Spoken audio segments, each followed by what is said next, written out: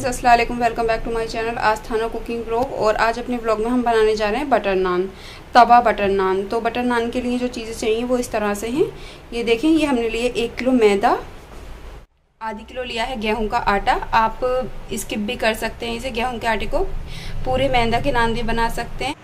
इतना लेंगे चौप्ड हरा धनिया, एक चम्मच लेंगे बेकिंग सोडा आधा पैकेट लेंगे हम इनो का, एक चम्मच लेंगे ईस्ट एक चम्मच लेंगे चीनी। चम्मच लिया है हमने ऑलिव ऑयल अब हम अपने आटे को गूंदेंगे। देखें, ये गेहूँ का आटा जो है, हम इसमें अपनी मैदा में मिक्स कर लेंगे डाल के सारा। आटा हमने पूरी तरह से मिक्स कर लिया है। अब इसके अंदर हम डालेंगे ईस्ट अब इसके अंदर डालेंगे हम बेकिंग पाउडर आधा लेंगे हम इनो। शुगर भी जो है, हम अभी ही डाल देंगे इसी स्टेज पे। और इन सब चीज़ों को डाल के हम अपने आटे को कर लेंगे अच्छी तरह से मिक्स ये देखिए हाथ की मदद से इसको मिक्स करना है। बहुत अच्छे से ताकि सारे इंग्रेडिएंट्स जो हैं आटे के अंदर अच्छे से मिक्स हो जाएँ। और ये देखिए इतना एक बाउल भर के हमने कर लिया है गुनगुना पानी। बिल्कुल हल्का गुनगुना पानी करना है ये ज़्यादा गुनगुना नहीं करना। यहाँ पे हम डेढ़ चम्मच करेंगे नमक ऐड और अपना ऑलिव ऑयल भी हम इसी स्टेज पे ऐड कर लेंगे। इसको भी हाथ की मदद से अम्मी जो है मिक्स कर लेंगे। देखिए ये हमारा आटा हो चुका है पूरी तरह से अच्छी तरह से मिक्स सारे इंग्रेडिएंट्स इसके अंदर मिक्स हो गए हैं। और अब हम इसमें पानी डाल के इसको अच्छी तरह से गूंदेंगे ये देखें इसको अच्छी तरह से मिक्स करके और अच्छे से गूंद लेना है। इसका जो आटा है फ्रेंड्स तो ये जो है, ना ज़्यादा टाइट गूंदना है, ना ज़्यादा सॉफ्ट गूंदना है, इसे नॉर्मली रखना है और इसको गूंद के हम आधे घंटे के लिए रख देंगे। अगर आपके पास टाइम है तो आप एक घंटे के लिए भी रख सकते हो। ये देखिए फ्रेंड्स ये हमारा आटा हो गया है, बिल्कुल। तैयार और ये गूंद के मैंने रख दिया है। अब मैं इसको आधे घंटे के लिए ढक के रख दूँगी। ये देखिए, मैंने ना ज़्यादा टाइट गूंदा है, ना ज़्यादा सॉफ्ट ये मीडियम गूंदा है बिल्कुल।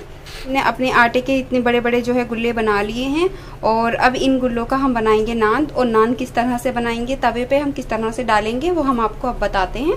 फ्रेंड्स, हमने अपने जो है लोई को इस तरीके से आटे पे लगा के, मैदा पे लगा के और इस तरह से अम्मी ने जो है इसे हाथ से इसकी, इसे बोलते हैं चकई। तो चकई बना ली है। अब इसको जो है हम थोड़ी सी मैदा छिड़क के इसके ऊपर और इसको बेलेंगे। ये देखें। ये हमें एक ही शेप में बेलना है। कहीं से मोटा पतला ना करें और एक ही शेप में बेलें। बहुत अच्छे से। इसके किनारे मोटे या बीच मोटा नहीं रहना चाहिए। अब इसको जो है हम इस तरह से पलट लेंगे और इसके ऊपर से फिर से आटा लगा लेंगे। ये देखें यहाँ पे हम डालेंगे इस पर हरा धनिया। हम डालेंगे सफ़ेद तिल। अब इन दोनों चीज़ों को डाल के हमें फिर से बेल लेना है। ये देखें। इस तरह से हम इसको अच्छे से फिर से बेल लेंगे ताकि ये दोनों चीज़ें इसके अंदर, नान के अंदर अच्छे से चिपक जाएँ। इसको पलट लेंगे। और पलट के हम उल्टी तरफ़ से भी बेलेंगे इसको, जहाँ पे हमें मोटा या कुछ लगेगा तो हम इसको फिर से अच्छी तरीके से बेल लेंगे अपना साइज़ जो है अच्छे से बना लेंगे। बिल्कुल गोल। अगर आप चाहें तो लंबे शेप में भी बना सकते हैं। शेप आप अपने हिसाब से बना सकते हैं। नान अच्छी तरीके से पानी लगा देंगे अपने पीछे। नान के पीछे जो हमें तवे पे डालनी है, जो साइड उस साइड पे हम इस पर पानी लगा देंगे। खूब अच्छा करके। और ये देखें, ये डाल दिया है हमने तवे पे। देखें, अम्मी ने कितना गोल और कितना शानदार सा नान बनाया है। बिल्कुल एक ही शेप में बनाया है। और बिल्कुल भी कहीं से भी आपको भी नज़र आ रहा होगा, कहीं से पतला, मोटा कुछ भी नहीं है। बहुत ही अच्छी तरीके से इसका साइज़ बनाया है, ये देखें। और इसमें बबल्स आने शुरू हो गए हैं और खुशबू भी।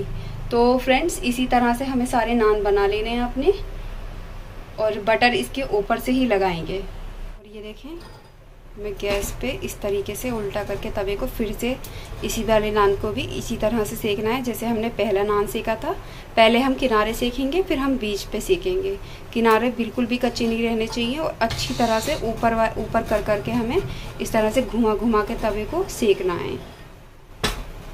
ये देखें हमारा नान सीख चुका है। अब हम इसे चिमटी की मदद से अच्छी तरह से छुटा लेंगे देखिए फ्रेंड्स छुटाने में कोई मसला नहीं होता, एकदम से छुट जाता है। हमारे नान बनकर हो गए हैं बिल्कुल रेडी और रेडीमेड से भी ज़्यादा अच्छे और शानदार से। तो देखिए फ्रेंड्स हमारी नान बनकर बिल्कुल रेडी हो गए हैं और कितने शानदार से रेडी हुए हैं और हमने इनके ऊपर से रख दिया मक्खन। तो नान अभी गर्म है, मक्खन अपने आप मेल्ट हो जाएगा और ये देखें, ये मेल्ट होने भी लगा है और बटर नान बिल्कुल रेडी हैं और कितने शानदार से लग रहे हैं देखने में भी और खाने में भी, बहुत ही टेस्टी हैं। बिल्कुल रेडीमेड से भी ज़्यादा अच्छे हमारे नान बने हैं। तो अगर आपको हमारी नान की रेसिपी पसंद आई है तो प्लीज़ हमारे चैनल आस्थाना कुकिंग ब्लॉग को लाइक करें शेयर करें, ज़्यादा से ज़्यादा से ज़्यादा सब्सक्राइब करें। अगर आपको नानों में कोई मसला लग रहा है, कोई चीज़ आपको समझ में नहीं आ रही है तो आप हमें कमेंट करके भी पूछ सकते हैं। और आज के ब्लॉग में इतना ही, अल्लाह हाफिज़।